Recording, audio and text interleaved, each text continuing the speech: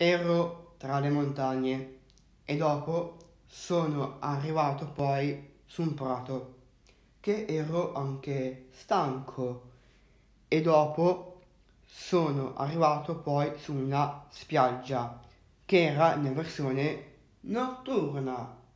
E dopo che ho fatto questa avventura posso anche dire che sono contento e spero che questo video sia bello ciao! E ci vediamo ai miei prossimi video